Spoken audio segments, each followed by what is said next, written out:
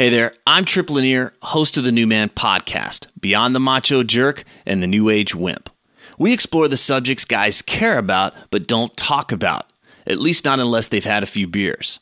You can listen to over 100 interviews and sign up to receive other free offerings at thenewmanpodcast.com. In order to save you time and energy, I've summarized the big takeaways from this interview into just a few minutes.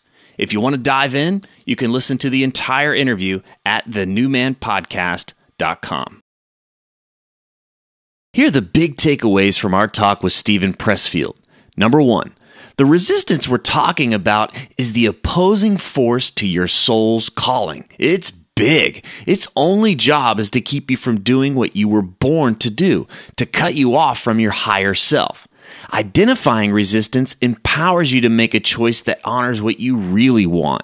Identifying resistance requires presence, and for information on becoming more present, check out thenewmanual.com. Number two, resistance is pervasive. It's everywhere, and everyone deals with it, even your heroes. More than just fear, resistance is the seductive, sometimes rational voice that manages to talk you out of living a kick ass life. By recognizing that resistance is its own entity, we can realize the deeper desire we have to be who we truly are, to follow through in our endeavors. And most importantly, we've got to realize that the voice of resistance is not our true voice. Number three, it may seem that your workout or your hobby may be the only thing to lose here, but according to Pressfield, if resistance wins, you essentially lose your life. You lose your ability to live your life's calling. You lose your ability to pierce through the BS and do what truly matters to you. Do not underestimate the impact of folding to resistance. Number four, it could be said that we were born with our own set of unique traits and qualities. We were born with an unwritten contract to become our true selves, to live and experience and do some very specific things. Pressfield mentions that we're not here to be what we should be according to some outside influence or pressure. No, our job is to listen within and discover what we were born to be. Our job is to embrace that calling, to get out of the way and be the best version of ourselves. Resistance? That's the force that wants to stop it from happening. And number five, Overcoming resistance requires a shift in thinking. Pressfield calls it turning pro. The amateur relies on results, external validation, and comparisons to others. The pro is locked on to his own North Star. He focuses on the work and is internally directed.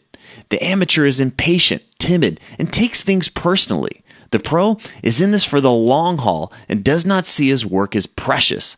The pro gets back on when he falls off.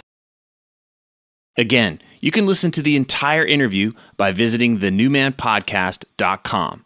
Now, if you're settling for a mediocre version of yourself, your career, your love life, your sex life, then take advantage of all of the other free New Man offerings. First up, the New Manual. It's a series of videos packed with tips and tools to help you live your version of a kick ass life. Next up, the email quick tips and case studies. These are the big ideas and true stories about guys just like you who are getting out of personal or professional ruts. You'll benefit from learning what really works so you don't waste time, energy, or money. So, here's what to do. Step one, click the link below or head over to thenewmanpodcast.com. Step two, find the email newsletter sign up box. And step three, enter and submit your email address. That's it. The new manual, the case studies, the quick tips, they will all be delivered to you via email. Thanks for watching this video and enjoy all of the free New Man offerings.